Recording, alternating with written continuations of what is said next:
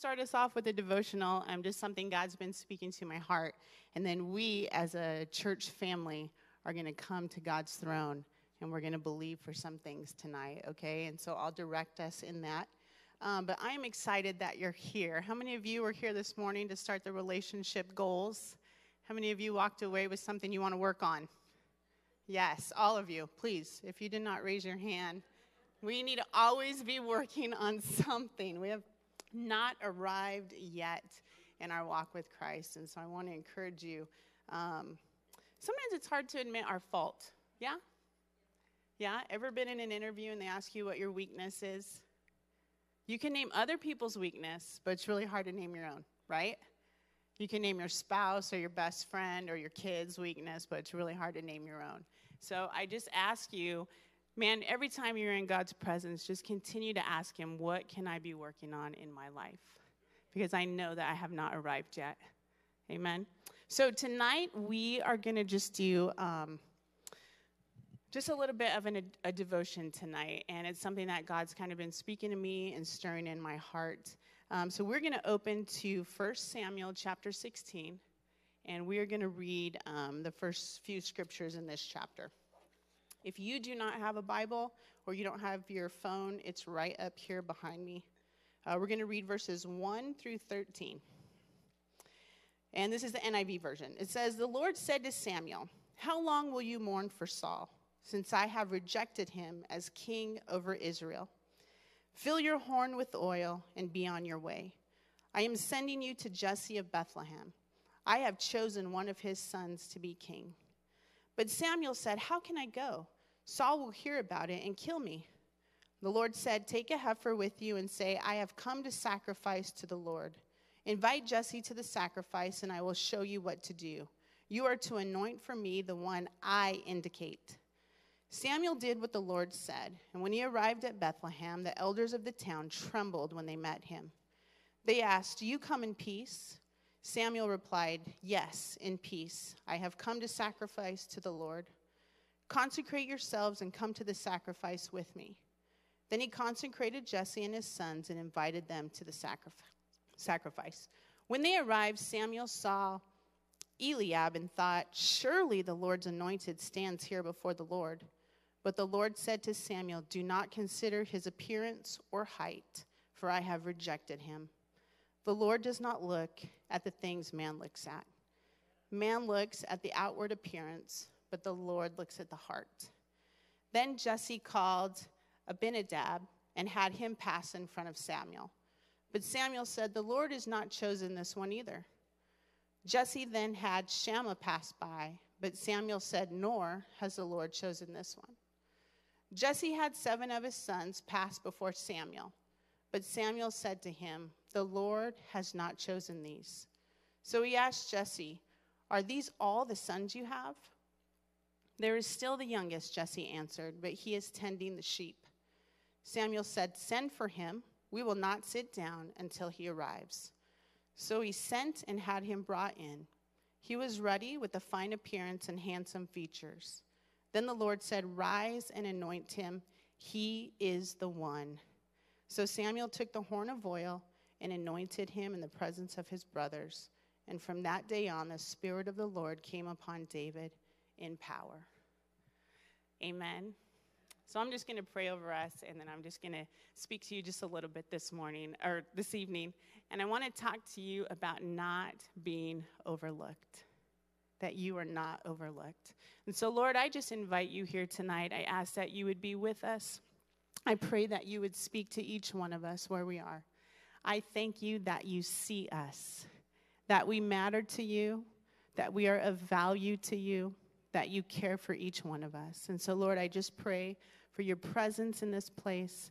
I pray that you would be with us and that you would continue to make us more like you. In Jesus' name, amen. How many of you remember the game hide and seek? I know, you probably still play it, right? I have to tell you, when we started having kids, um, Javen was probably about two years old, and um, Pastor Cindy, aka Nana, used to love to play this game with Javen. And Javen is the worst person at hide and seek because he wants you to know where he is. Ever played with somebody like that? They can't be quiet for anything, but they giggle or they laugh or they snort. And so um, Pastor Cindy Nana had to make the game go longer than it should. And then eventually Javen just jumps out and he's like, I'm over here because he wanted to be found so badly. Well, we're going to read a little bit about that tonight, about God seeing you exactly where you are. It says in these first couple of scriptures that the Lord tells Samuel, How long will you mourn for Saul, since I have rejected him as king over Israel? And it's interesting that we have Samuel, who used to be a judge, and now Saul, you know, is the first king of Israel, and it's the king that who chose? The people chose. They asked for him. And so he's become a king, and all of a sudden, he's not doing a good job. And Samuel is mourning over this. And God tells him, Stop mourning. A couple weeks ago, I shared on seasons, there's a time for everything. And I see and hear very clearly that God said, Enough is enough, Samuel. Stop mourning for him. I'm going to put somebody else in that spot that I choose. Verse 1 says, The Lord said, I choose who goes in there next. And so God had chosen another king, and this was going to be from the family of Jesse. Says that in verse 2 Then Samuel said, How can I go? Saul will hear about it, and he will want to kill me. Ever been scared of something? I love when the Bible highlights the emotions of what people are going through because we know we're not the only ones who experience it. But Samuel was afraid he was afraid of what would happen if Saul found out that he was looking to anoint another king. Would you be pretty mad if you were in that position and you knew you were about to be replaced? And the very person who anointed you was going to anoint another? And so, very clearly, Samuel was said he was scared. You see, when Saul was anointed king, it was a very public event. It was done in front of everyone because they wanted it. And scripture says here that God was going to anoint a new king in private. He was going to do it in just a small, intimate setting, and it was not going to be done in front of everyone. And so scripture says that God told Samuel he needed to go. How many of you know that's the hardest part? Just go. Just go. Just go do it. He said, Take a cow, invite Jesse and his family, and God would do the rest. Those are the hardest things to do is go and rely on Jesus. How many of you like to plan? You like to know every detail of what's going to happen?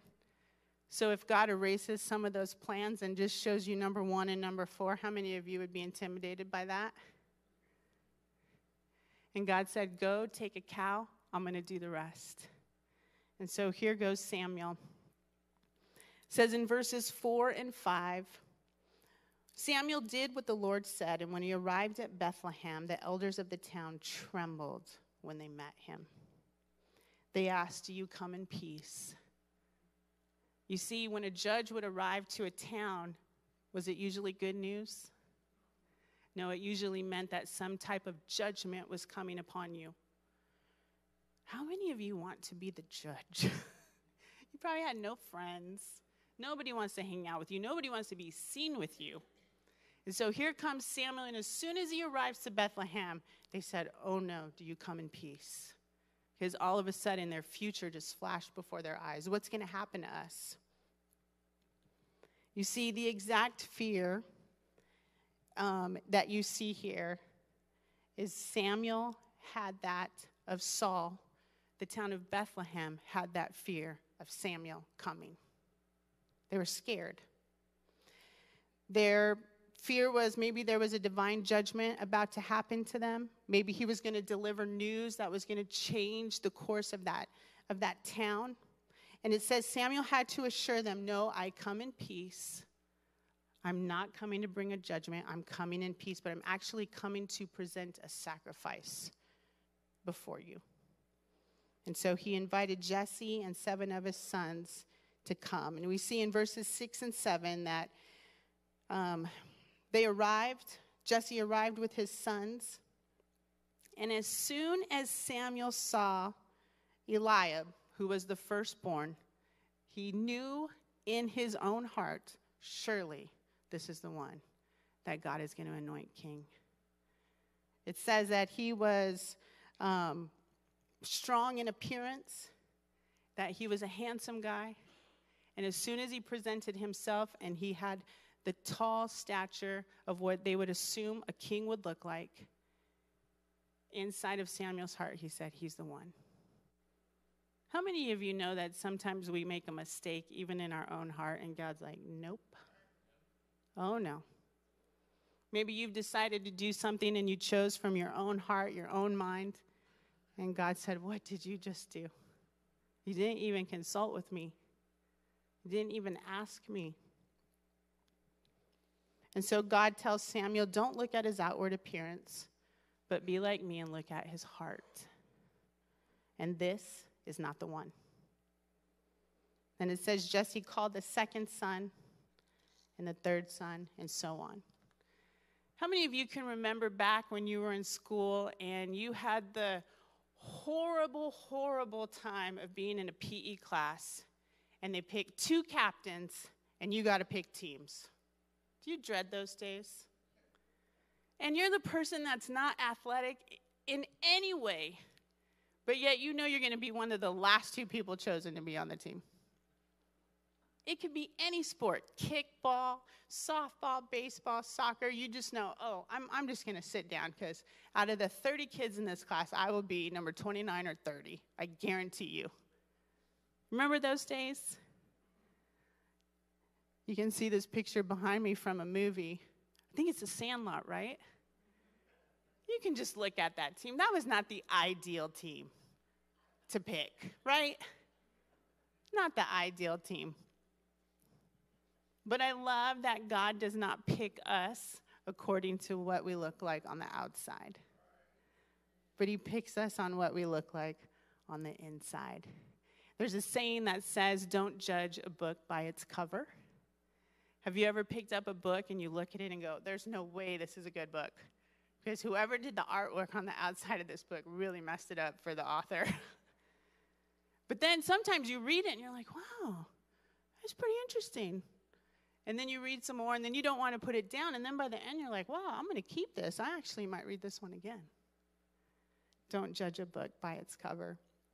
One of my first jobs uh, right out of high school, I worked for mailboxes, etc. That's dating myself because I think now they're all the UPS store, correct?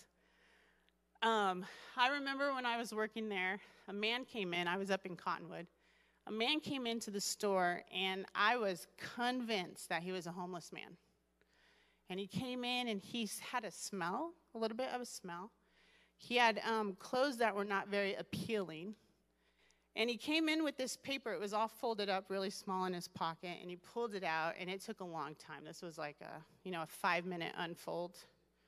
And he just like, he didn't say anything. He just kind of was just making it straight. And he asked me for a copy. And I was like, yeah. So I went and made a copy. I came back and I gave him the copy, and it was like five cents, seven cents. And he said, thank you. And then he walked out very slowly. It was like a really slow walk. And he left. He was maybe in his late 50s. And I didn't think anything of who he was. And then just a few minutes later, the owner of the mailboxes, etc., came to me and he's like, Oh, I didn't get to say hi. He realized that he had just left. Said, Oh, I didn't get to say hi to so and so. I was like, You know him? Well, you won't believe this, but he's probably the wealthiest guy in this entire valley. And I was like, that's a joke, right? He's like, oh, no, no. He owns all, he just told me everything he owned and where he lived. He said he lost his wife a few years ago and he just, he just is sad. So he just kind of walks everywhere. And I thought, wow, you really cannot judge a book by its cover we see here in this chapter that Israel's king You see, Samuel's looking for someone who looked the part, and the firstborn had that appearance. Israel's first king, if you remember in scripture, Saul, it says that he was a head above everyone else from the shoulders up. He was a very tall man. He had the appearance of the king. And so that's who the people chose. And now God was going to give them a king that they needed. Not that they wanted, but one that they needed. said Jesse's sons all went by one by one, seven of them went by. And each time somebody went by, God kept saying, No, no, no.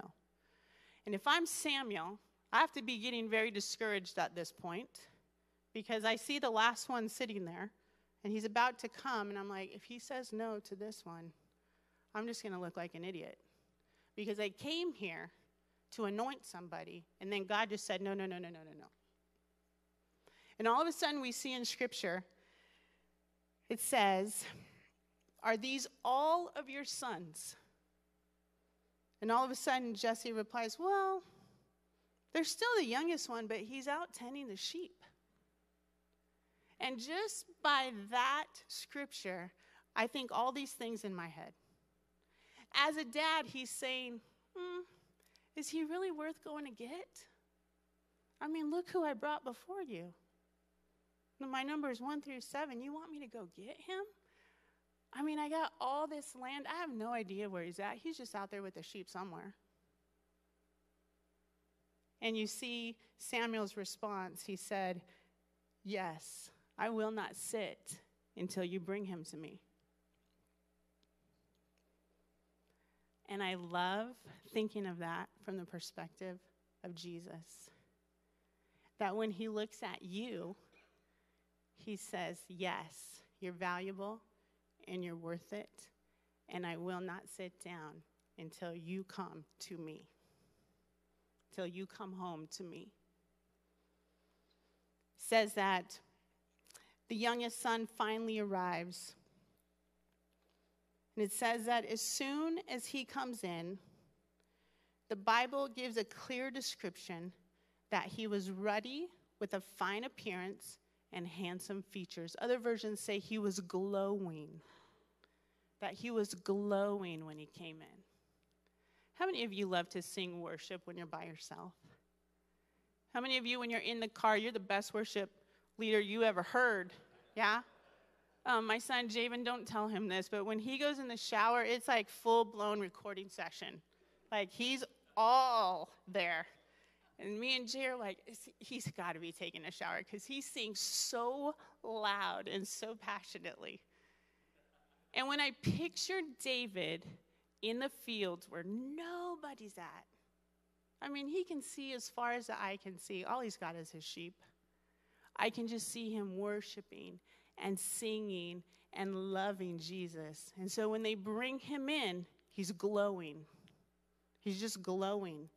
His presence shows that he's been before the king. And so they bring him in, and just like the other brothers, he's good looking. I'm really glad they didn't say he was ugly and unattractive. but they said he also was handsome features and a good looking boy. And so they bring him in, and all of a sudden, without hesitation, God tells him, God tells Samuel, rise and anoint him. He's the one. He's the one. And there's two powerful things that happen in this scripture. It says, From that day on, the Spirit of the Lord came upon David in power. From that day on. If you know anything about Saul, previous to this, you know that Saul only received the Spirit sporadically. The Bible does not say that he was filled with the Spirit every single day from that day on when he was anointed king. But it says that the Spirit only came upon Saul sporadically. But scripture is very clear. As soon as they said, This is the one, the Spirit of the Lord fell upon David from this day forward and he had that anointing upon him. We learn, it says right here in, in, um, in verse 13, it says So Samuel took the horn of oil and anointed him in the presence of his brothers. And from that day on, the Spirit of the Lord came upon David. Did you know this is the first time the name of David is mentioned in the Bible? The very first time is when they anoint him king.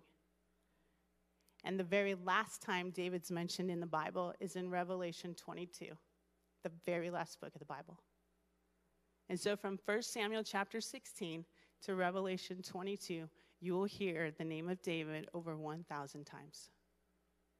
Because that is how important he was. And God had a plan for him.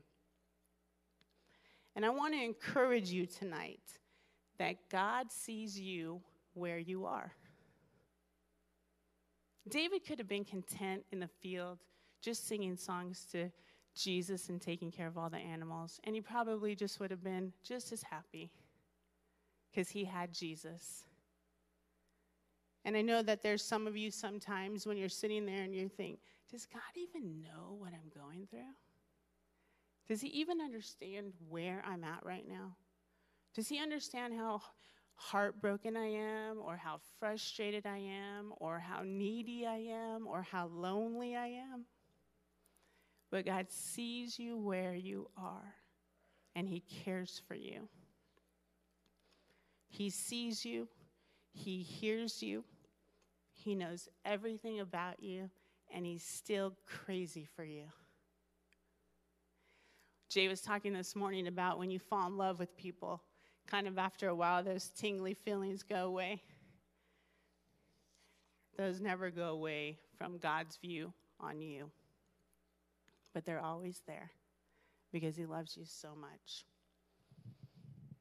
We're going to do a little bit in prayer tonight. And so I want to encourage you. I'm going to put some prayer points up here, and then we're going to pray. And if you feel comfortable just sitting where you are, you are totally fine to do that. Some of you I know like to walk around, some of you just like to stand, some of you like to just be in different positions when you're praying. But we're going to go to God's throne together as a family, a family of God, and we're going to bring some requests before Him. And so, first, I want to start with thanking God that He sees us where we are. And so, I want to encourage you for the next two to three minutes. I just want you to lift your voice and just to say, Thank you, God, that you've seen me where I am, that you've taken me from point A to point B. Maybe some of you it was 60 years ago, but He did it for you.